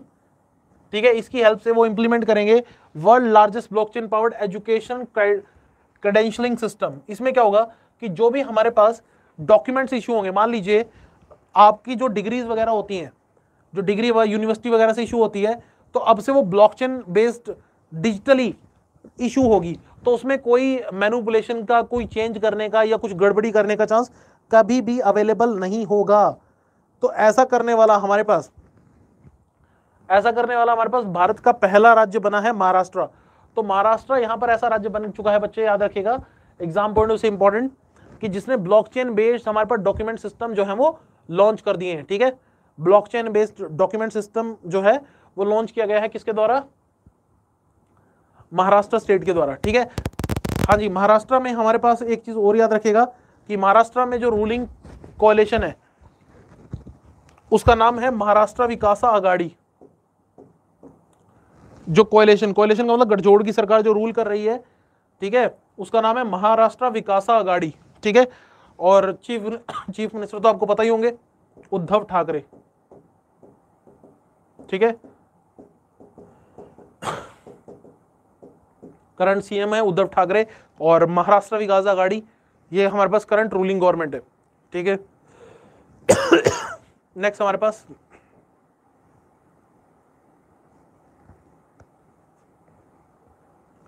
इंडियन इंस्टीट्यूट ऑफ़ हेरिटेज अब यहाँ पर बच्चे एक अच्छी न्यूज़ कि the Bihar government is decided to set up world class institute Indian institute of heritage ठीक है? तो पेपर पॉइंट से question Indian institute of heritage कहाँ बना, बन रहा है? नोएडा में, ठीक है? इंडियन इंस्टीट्यूट ऑफ़ हेरिटेज कहाँ बन रहा है हमारे पास? नोएडा में, नोएडा गौतम बुद्ध नगर में, ठीक है? और सीधा सीधा क्वेश्चन ये हमारे पास खुद मिनिस्टर ऑफ़ कल्चर ने यहाँ पर लोकसभा में इसके बारे में इंफॉर्मेशन दी थी। देखो, जब बात हेरिटेज की आती है तो मेरे दिमाग में तो एक ही बात आती है, वो है वर्ल्ड हेरिटेज साइट्स हाँ जी वर्ल्ड हेरिटेज साइट्स आपको पेपर में यकीन मानिए, एक ना एक क्वेश्चन ज़रूर कहीं, यहाँ से ज़रूर मिल जाएगा। तो भारत में वर्ल्ड हेरिटेज साइट्स की बात करूँ यूनेस्को वर्ल्ड हेरिटेज साइट्स की तो कुल भारत में 40 यूनेस्को वर्ल्ड हेरिटेज साइट्स हैं। याद रखिएगा, भारत में कुल 40 यूनेस्को वर्ल्ड हेरिटेज साइट्स हैं और जो 40 साइट्स, जो फोर्टियथ साइट बनी है, वो है धोलावीरा। हाँ जी क्लियर फोर्टियथ साइट की बात मैं करूँ, जो चालीसवीं साइट हमारे भारत में बनी है, वो है धोलावीरा, जो कि हमारे पास कहाँ आपको देखने मिली? गुजरात में। धोलावीरा कहाँ देखने मिलेगी? गुजरात में। थर्टी नाइन्थ जो हमारे पास thirty ninth UNESCO world heritage site थी, वो थी रुद्रेश्वरा टेंपल ठीक है? अभी जैसे मैं लिख भी देता हूँ Dholavira.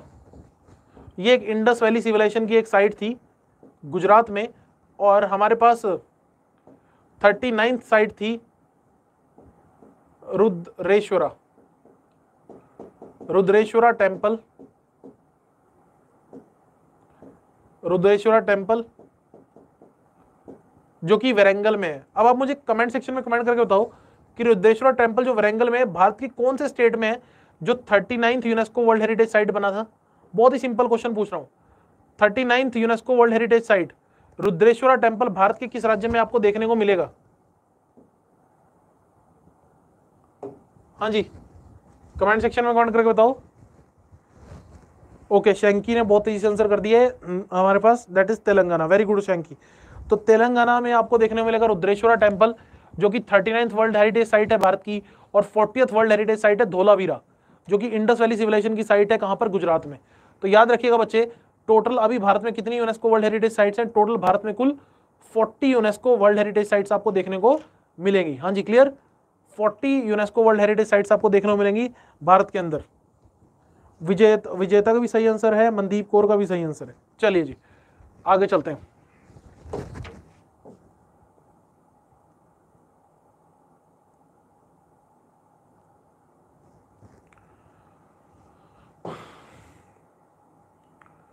First Indian payment bank.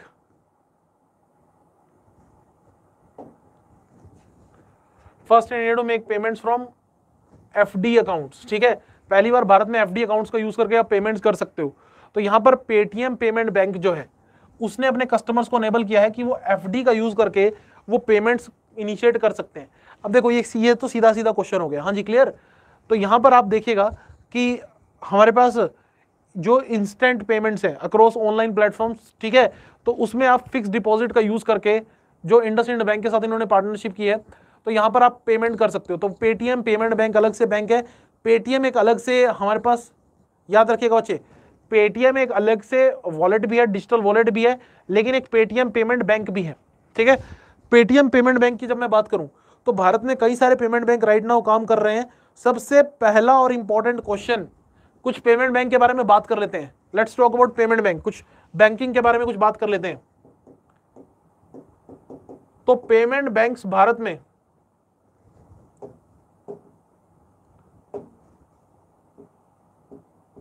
Payment bank Bharat में किस कमेटी की रिकमेंडेशन पर इंट्रोड्यूस हुए?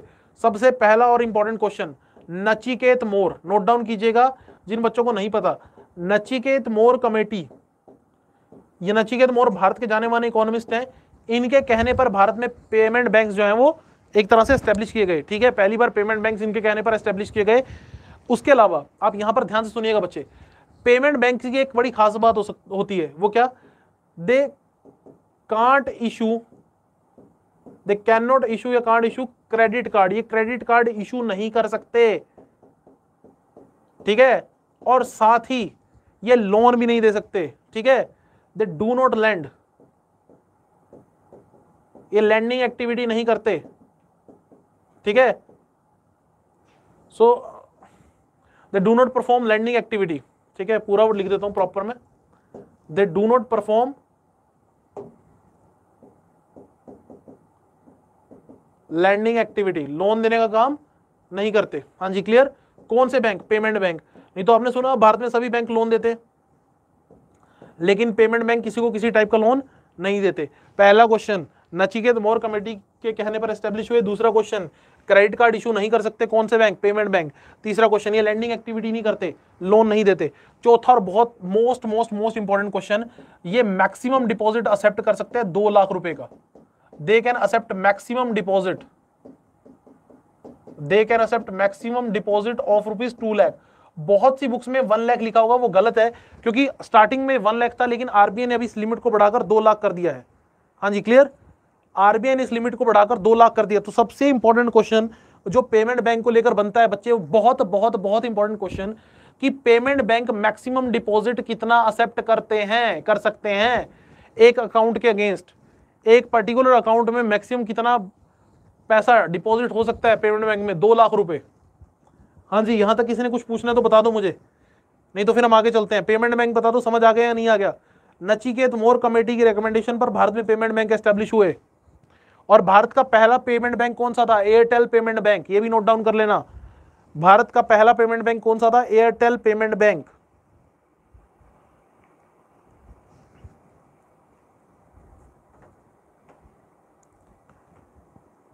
हाँ जी, किसी को कोई डाउट पेमेंट बैंक्स को लेकर पहले भी कई एग्ज़ाम्स में क्वेश्चन पूछा गया है, आगे भी आपसे क्वेश्चन पूछा जा सकता है।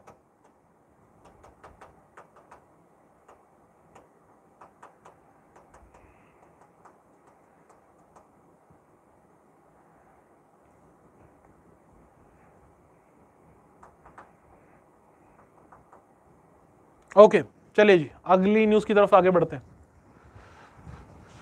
सो आई गेस ये सबको क्लियर हो गया होगा?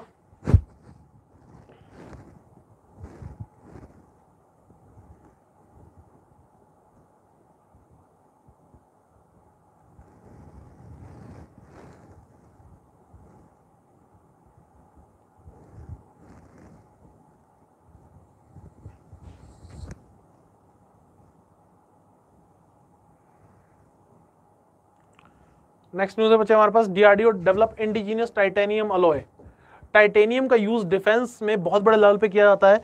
एक बहुत इंपॉर्टेंट मेटल होता है। तो उसके, उससे रिलेटेड एक बेस्ड अलॉय बनाया है डीआरडीओ ने। DRDO means defence research development organisation उसकी एक लैब है, जिसका नाम है डिफेंस मेटलर्जिकल रिसर्च लैब तो पहला इंपॉर्टेंट क्वेश्चन ये लैब भारत में कहाँ है?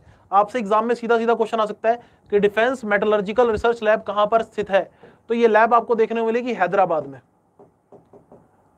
ये लैब आपको देखने को मिलेगी। हैदराबाद में, हैदराबाद कहाँ है? तेलंगाना में। So a lab of DRDO ठीक है, इसने डेवलप किया है indigenous high strength metastable beta titanium alloy metastable जो एक स्टेबल बीटा टाइटेनियम अलॉय है, इसको डेवलप किया है। इसका यूज़ एरोस्पेस एप्लीकेशन में होगा। जो स्पेस में हमारे पास जो कंपोनेंट्स बनते हैं, जो स्पेस से रिलेटेड जो सैटेलाइट्स बनते हैं, उसमें इस अलॉय का यूज़ किया जाएगा। डीआरडीओ की मैं बात करूँ? हाँ जी when we talk about DRDO India की बेस्ट जो हमारे पास कंपनीज़ हैं, उनमें से एक है। और डिफेंस रिलेटेड जितनी भी मिसाइल्स भारत में बनती हैं, ज़्यादातर जो मिसाइल अभी तक भारत में बनी हैं, वो हमारे पास डीआरडीओ की तरफ़ से ही बनाई गई हैं। डीआरडीओ के बारे में बेसिक याद रखें 1958 में एस्टेब्लिश हुई थी और जी सतीश रेड्डी के करंट चेयरमैन है, ठीक है? 1958 में हमारे पास डीआरडीओ जो है वो एस्टेब्लिश हुई थी।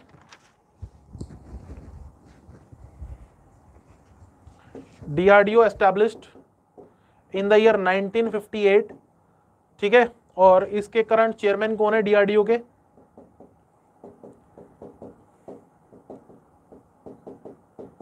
जी सतीश रेड्डी। ठीक है? नाम याद रख लेना एग्ज़ाम पॉइंट से इंपॉर्टेंट चलिए जी नेक्स्ट अगली न्यूज़ की तरफ़ चलते हैं। अगली न्यूज़ बैंकिंग वाले स्टूडेंट्स के लिए बहुत इंपॉर्टेंट बैंक नेशनलाइजेशन डे तो भारत में बैंक नेशनलाइजेशन डे कब ऑब्ज़र्व किया जाता है? तो बैंक भारत में बैंक नेशनलाइजेशन डे ऑब्ज़र्व किया जाता है नाइनटीन ऑफ़ जुलाई को। ध्यान से सुनिएगा। नेशनलाइजेशन राष्ट्रीयकरण, बैंकों का राष्ट्रीयकरण। भारत में दो बार हुआ है। आपको याद रखना है, एक तो हुआ था 1969 में और दूसरा हुआ था 1980 में। दोनों बार इंदिरा गांधी की सरकार थी। इंदिरा गांधी ने ऑर्डर दिया 1969 में कि पता करो भारत में ऐसे कितने बैंक हैं जिनके पास मोर देन 50 करोड़ का डिपॉजिट है, सारी ब्रांचेस मिलाकर और प्राइवेट है। तो पता चला ऐसे 14 बैंक्स भारत में काम करते हैं 14 बैंक्स इन बैंकों को गवर्नमेंट ने खरीद लिया। फिर ऐसा ही एक ऑर्डर 1980 में गवर्नमेंट की तरफ़ से दिया गया, जिसमें गवर्नमेंट ने कहा कि पता करो कितने ऐसे बैंक हैं, जिनके पास, जो प्राइवेट है और जिनके पास सभी ब्रांचेस मिलाकर 200 करोड़ से ज़्यादा का डिपॉजिट है। तो पता चला ऐसे छह बैंक भारत में काम करते हैं। तो इन बैंकों को मिलाकर हमारे पास ये छह बैंकों को फिर नेशनलाइजेशन हो गया। तो अगर हम बात करें नेशनलाइजेशन कौन कौन से साल में हुआ, ये हमें पता रखना पड़ेगा 1969 और 1980 लेकिन जब पहली बार नेशनलाइजेशन हुआ तो नाइनटीन ऑफ़ जुलाई को हुआ था, ठीक है?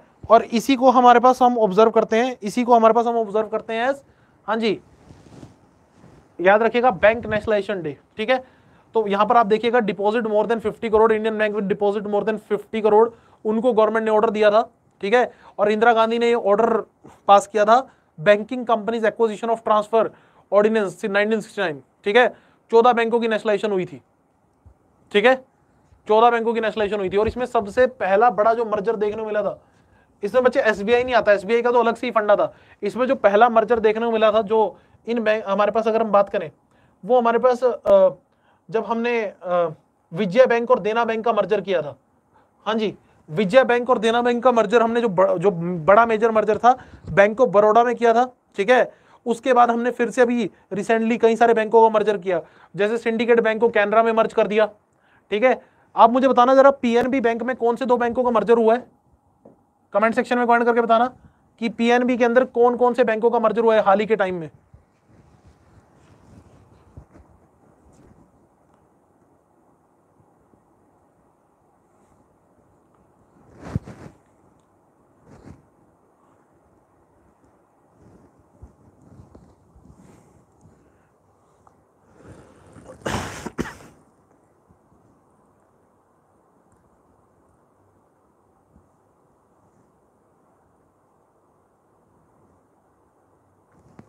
ओके इंडियन ओवरसीज बैंक नहीं है।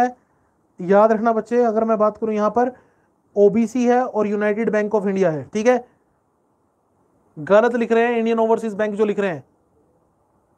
ठीक है? ओबीसी और यूनाइटेड बैंक ऑफ़ इंडिया हाँ जी क्लियर ओबीसी और यूनाइटेड बैंक ऑफ़ इंडिया इन दो बैंकों का मर्जर हुआ था अभी हाल ही के टाइम में। काफ़ी बच्चे आंसर कर रहे हैं, लेकिन कुछ बच्चे आंसर गलत कर रहे हैं। तो याद रख लेना नेशनलाइजेशन दो ईयर्स में हुई है सिक्सटी नाइन और एटी और उन्नीस जुलाई को हम ऑब्ज़र्व करते हैं नेशनलाइजेशन डे। ठीक है? ये सारे क्वेश्चन आप एग्ज़ाम पॉइंट से इंपॉर्टेंट है, याद रख लीजिएगा। चलिए आगे चलते हैं नेक्स्ट न्यूज़ की तरफ़।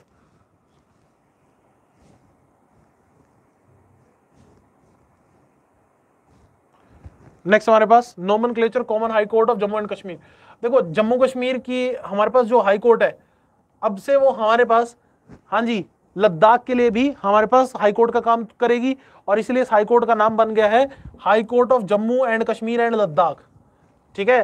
तो हाई कोर्ट का नाम बदला है। हाँ जी क्लियर हाई कोर्ट कहाँ पर है? श्रीनगर में। ये भी याद रखना हाई कोर्ट जो है, वो श्रीनगर में है। पहले इस हाई कोर्ट में इंडियन पीनल कोड नहीं चलता रहा। जब तक आर्टिकल 370 था बच्चे, यहाँ पर सजा देने के लिए रणवीर पीनल कोड का यूज़ किया जाता था। ये बहुत एक डीप लेवल का, एक डिफ़िकल्ट लेवल का क्वेश्चन है कि यहाँ पर रणवीर पीनल कोड का यूज़ होता था आर्टिकल 370 हटने से पहले। कहाँ पर? जम्मू कश्मीर हाई कोर्ट में। लेकिन अब ये रणवीर पीनल कोड नहीं रहा, अब से इंडियन पीनल कोड ही चलेगा। यानी एक देश, एक संविधान, एक सिस्टम। ठीक है? अब से हमारे पास ये हाई कोर्ट का नाम भी बदल गया है और यहाँ पर सजा देने के लिए जिस सिस्टम का यूज़ किया जाएगा, that is Indian penal code. ठीक है? ये बेसिक बेसिक चीज़ है, याद रखिएगा। चलिए, आगे चलते हैं नेक्स्ट न्यूज़ की तरफ़। नेक्स्ट भी हमारे पास हाई कोर्ट से रिलेटेड है। देखो, भारत में सबसे ओल्डेस्ट हाई कोर्ट याद रख लेना कि कैलकाटा हाई कोर्ट है। ठीक है? भारत में सबसे ओल्डेस्ट हाई कोर्ट है कैलकाटा हाई कोर्ट अठारह में 1862 में बनी थी। After the Indian high court act 1861 act आया था 1861 में लॉर्ड कैनिंग के टाइम पर और उसके अकॉर्डिंग 1862 में पहली हाई कोर्ट बनी थी। नेक्स्ट हमारे पास first Indian court to allow public viewing of the proceeding जो भी प्रोसीडिंग चल रही है, उनको पब्लिकली लोग सुन सकेंगे। ठीक है? लाइव स्ट्रीमिंग होगी। तो ये कहाँ पर होगी हमारे पास? हाई कोर्ट ऑफ़ गुजरात ठीक है? हाई कोर्ट ऑफ़ गुजरात में हमारे पास लाइव स्ट्रीमिंग होगी। और ये कब लॉन्च किया गया है? वो launch on the one hundred birth anniversary of former chief justice of India former chief justice of India Y V Chandrachud ठीक है? वाई वी चंद्रचूड़ जो सोलहवें चीफ जस्टिस थे, उनकी याद में। आपसे मैं क्वेश्चन पूछ लेता हूँ। अभी हमारे चीफ जस्टिस हैं N V Ramana. N V Ramana. ये कौन से नंबर के चीफ जस्टिस हैं? हाँ जी। एनवी रमणा कौन से नंबर के चीफ जस्टिस हैं? जरा कमेंट सेक्शन में कमेंट करके बताओ।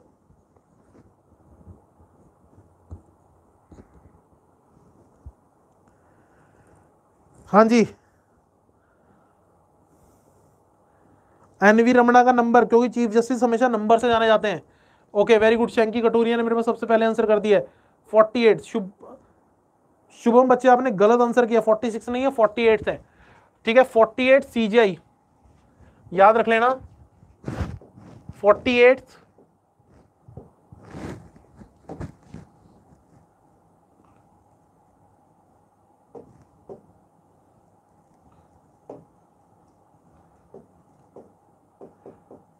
forty eight chief justice of India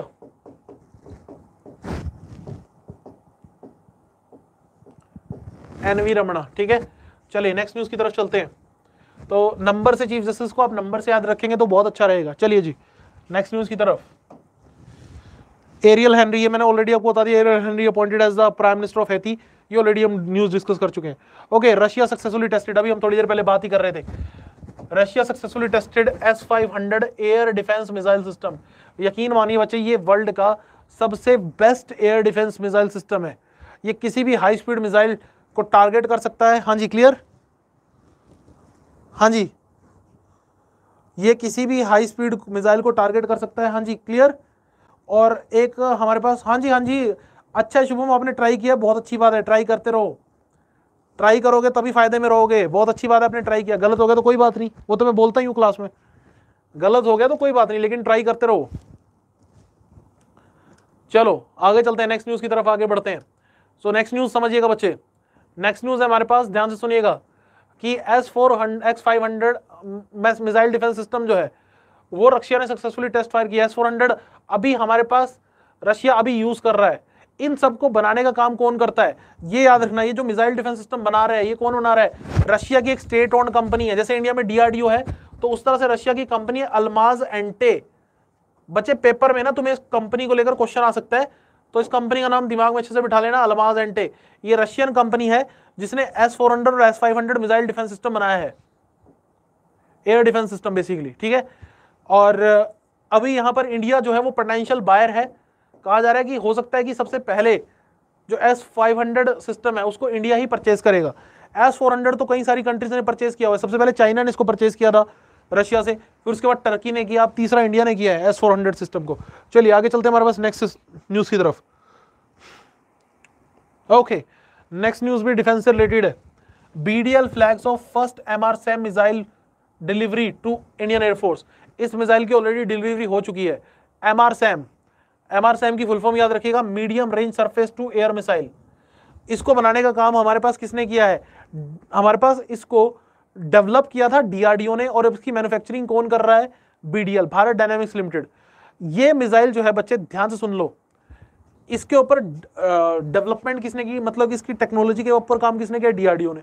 manufacturing कर रहा है बीडीएल भारत डायनेमिक्स लिमिटेड ये जो एमआर सैम मिसाइल है बेसिकली बच्चे याद रखना it's a joint venture of India and Israel India and Israel का जॉइंट वेंचर है। इंडिया और इसराइल कई सारे प्रोजेक्ट्स पर मिलकर काम करते हैं और ये प्रोजेक्ट उनमें से ही एक है। और ये M R SAM medium range surface to air missile हमारे पास एयरफोर्स को हैंड ओवर की जाएगी। हाँ जी क्लियर जब भी मैं बात करता हूँ बच्चे, यहाँ पर भारत डायनेमिक लिमिटेड की। सो so अगेन आपको एग्ज़ाम पॉइंट से पता होना चाहिए कि ये भी हमारे पास एक गवर्नमेंट एंटिटी है गवर्नमेंट कंपनी है। और एग्ज़ाम पॉइंट से अगर मैं बात करूँ, इसका हेडक्वार्टर याद रहना हैदराबाद में है, जबकि डीआरडीओ का हेडक्वार्टर न्यू दिल्ली में है। बीडीएल का हेडक्वार्टर हैदराबाद में है डीआरडीओ का हेडक्वार्टर न्यू दिल्ली में है, ठीक है? और इसके करंट हेड बीडीएल के कौन है? सिद्धार्थ मिश्रा चेयरमैन और एमडी हाँ जी, ध्यान सुनिएगा। हमारे पास बीडीएल के बीडीएल के करंट चेयरमैन कौन है? सिद्धार्थ मिश्रा। चलिए नेक्स्ट हमारे पास नेक्स्ट न्यूज़ की तरफ़ चलते हैं। World fastest ground vehicle okay world fastest ground vehicle तो चाइना ने अनवील की है वर्ल्ड की सबसे fastest train maglev transportation system ठीक है? और ये मैक्सिमम स्पीड पे चल सकती है that is 600 kilometre per hour आप खुद इमेजिन कर लीजिए कि 600 किलोमीटर प्रति घंटे की रफ्तार से ये हमारे पास दौड़ सकती है और इसको किंग डाउ प्रोविंस, एक कोस्टल सिटी है, चाइना की किंग किंग डाउ ठीक है? यहाँ पर इसको एक तरह से इंट्रोड्यूस किया गया है। ये चाइना की टेक्नोलॉजी में कितने एडवांसमेंट है, उस चीज़ को कहीं ना कहीं रिप्रेजेंट करती है। चाइना टेक्नोलॉजी में बच्चे बहुत तेज़ी से आगे बढ़ रहा है और यहाँ पर आप कह सकते हैं कि चाइना को बीट करना अभी इंडिया के बस से बहुत बाहर हो चुका है। ठीक है? ये मैग्नेटिक लेविएशन पे चलती है फ्लोट करती है हवा में। आपने पढ़ा होगा इलेक्ट्रोमैग्नेटिक मैग्नेटिज्म तो उसमें थोड़ा सा क्या होता है कि like poles repel each other unlike poles attract each other तो उस प्रिंसिपल पे काम करते हुए बिना फ्रिक्शन के ये ट्रेन मूव करती है और ये वर्ल्ड की फास्टेस्ट ट्रेन है। तो आपने याद रखना है कि वर्ल्ड की fastest train maglev transportation system किस कंट्री ने रिसेंटली लॉन्च किया है? चाइना ने। और कहाँ पर? In the Qingdao province ठीक है? Qingdao province okay? अच्छा एक चीज़ और। चाइना में हमारे पास ये भी याद रखना बच्चे। चाइना में जो रूलिंग पार्टी है, communist party of China, communist party of China, इसने अभी हंड्रेड ईयर्स कंप्लीट किए हैं। ये भी याद रख लेना, ठीक है? हाँ जी। अगर मैं बात करूँ, एक और इंपॉर्टेंट पॉइंट है हमारे पास कि हमारे पास कम्युनिस्ट पार्टी चाइना में हमारे पास कम्युनिस्ट पार्टी का रूल है, ठीक है? तो हमारे पास इसकी अगर मैं बात करूँ तो ये आप याद रख लेना, इसके हंड्रेड ईयर्स कंप्लीट हो चुके हैं communist party. Hundred anniversary of the Chinese communist party, एक जुलाई 2021 को ऑब्ज़र्व की गई थी। एक जुलाई 2021 ये भी याद रख लेना, एक जुलाई 2021 को ऑब्ज़र्व की गई थी hundred anniversary of Chinese communist party. Chinese communist party, ठीक है? ये कम्युनिस्ट पार्टी ऑफ़ चाइना, ठीक है? चलिए जी। हाँ जी, और इसके हेड कौन है? वो आपको सबको पता होंगे शी जिनपिंग ठीक है? वो कौन है? शी जिनपिंग और इसके इसके लिए बहुत बड़े लेवल पे सेलिब्रेशन भी हुई थी बच्चों। पूरे चाइना में एक बहुत बड़े लेवल पर सेलिब्रेशन हुई थी यहाँ पर। हाँ जी, चलिए जी, आगे चलते हैं हमारे पास। नेक्स्ट न्यूज़ की तरफ़ चलते हैं। New Shepard's complete first human passenger flight. हाँ जी, न्यू शेफर्ड के बारे में मैंने बताया ही था आपको कि न्यू शेफर्ड है। ये हमारे पास जब हमने कंपैरिजन किया था तीन प्राइवेट कंपनीज़ के बारे में, जो यूएसए की तीन प्राइवेट कंपनीज़ जो ह्यूमन मिशन को एग्जीक्यूट कर रहे हैं। जैसे अभी रिसेंटली मिशन कौन सा एग्जीक्यूट हुआ था? स्पेस एक्स ने इंस्पिरेशन फोर को सक्सेसफुली एग्जीक्यूट किया, जिसमें चार हमारे पास पैसेंजर्स को स्पेस में भेजा गया था। न्यू शेफर्ड, हमारे पास ध्यान से सुनिएगा just try to understand New Shepard हमारे पास ये कंप्लीट कर चुका है। फ़र्स्ट ह्यूमन पैसेंजर फ़्लाइट, ये कंपनी हमारे पास कौन ऑन करते हैं? अमेजन के फाउंडर जेफ बेजोस ठीक है? और यहाँ पर आप देखिएगा, चार मेंबर्स का क्रू था और इसमें हमारे पास सबसे ओल्डेस्ट पर्सन जो स्पेस में गए, उनका रिकॉर्ड बन चुका है Wally Funk oldest ever to fly in space ठीक है? और youngest ever to fly in space Oliver Daemen इनके दो के नाम आपको याद रखने पड़ेंगे बच्चों। Oliver Daemen youngest person in space हाँ जी clear Oliver Daemen youngest person in space और Wally Funk oldest person in space और 11 हमारे पास 20 जुलाई को अपोलो 11 की हमारे पास एनिवर्सरी थी, ये भी याद रखना, ठीक है? हाँ जी, ये बात बता दो बच्चों, समझ आई या नहीं आई?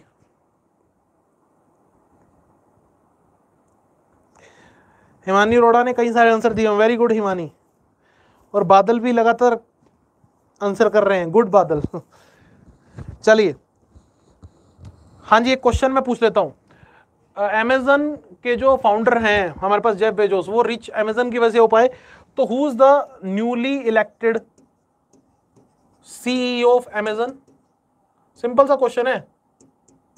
हाँ जी। अमेजन के जो न्यूली इलेक्टेड सीईओ है, उनका नाम बता दीजिए जरा। वेरी गुड हशमीत ने बहुत तेज़ी से आंसर कर दिया वेरी गुड हशमीत हशमीत ने बहुत तेज़ी से आंसर कर दिया एंडी जेसी ठीक है? Andy Jassy he became the new CEO of Amazon ठीक है? नेक्स्ट हमारे पास space exploration day space exploration day इसको मून डे के नाम से भी जानते हैं. ट्वेंटी जुलाई को ऑब्ज़र्व किया जाता है क्योंकि इस दिन एनिवर्सरी होती है. अपोलो 11 मिशन की, ठीक है? सो अपोलो 11 मिशन की हमारे पास। Next news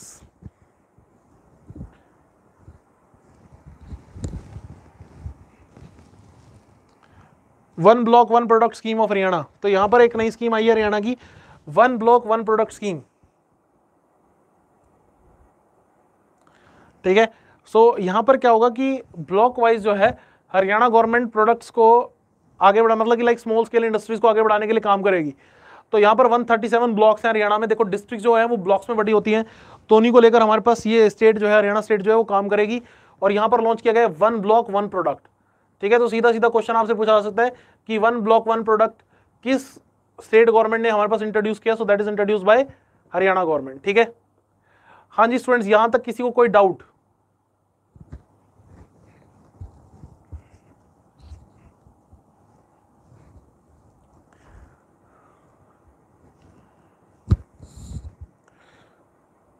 हाँ जी स्टूडेंट्स यहाँ तक किसी को कोई डाउट है तो प्लीज़ बता दीजिए।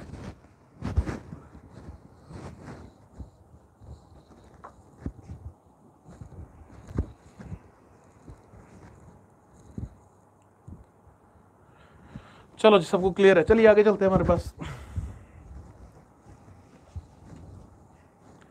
RPF the construction of six P seventy five submarine अब देखो, यहाँ पर एक तो सबसे इंपॉर्टेंट चीज़ क्या है?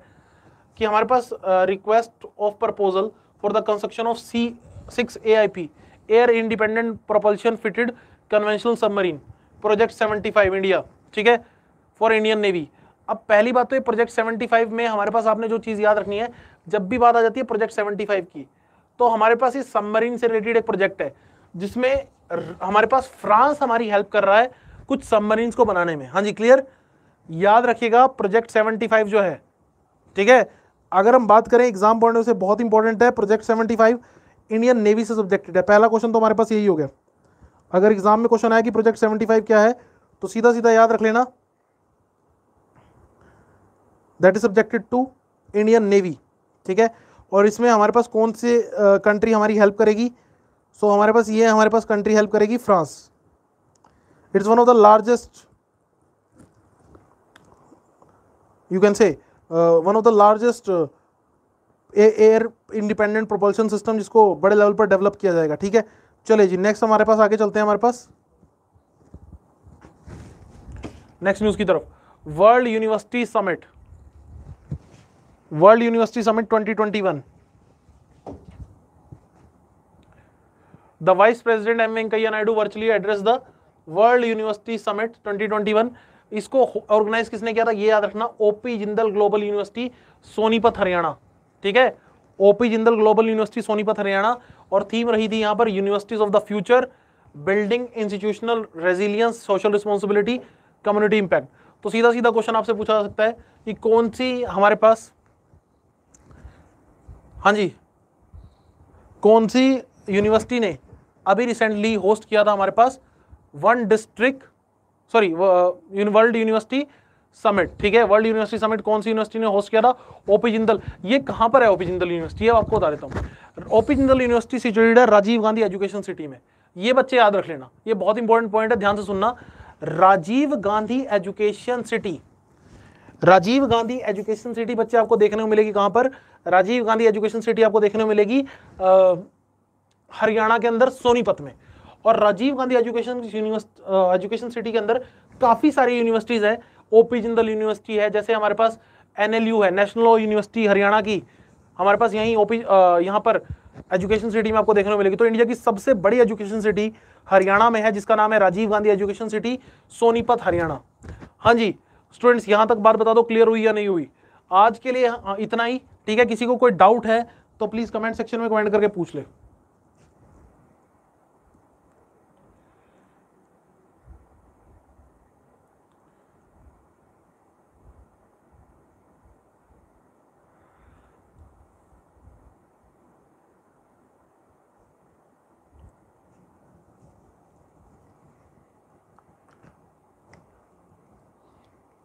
हाँ जी स्टूडेंट्स किसी को कोई कमेंट कोई प्रॉब्लम है कोई डाउट है तो कमेंट करके पूछ ले। ठीक है आज के लिए इतना ही।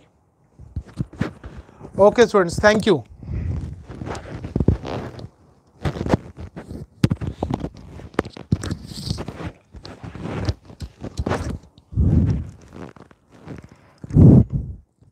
computer के लिए बच्चे आप हमारे चैनल पे जो वीडियोस अवेलेबल हैं अलका मैम के वो आप देख सकते हो उससे काफ़ी आप, आपको हेल्प मिल जाएगी। ठीक है कंप्यूटर के वीडियोस हमारे ट्रिपल एप अकेडमी के चैनल पे अवेलेबल हैं। वहाँ से आपको काफ़ी हेल्प मिल जाएगी।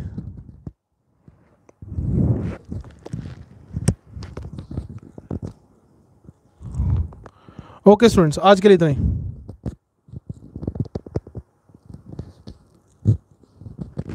ओके जी।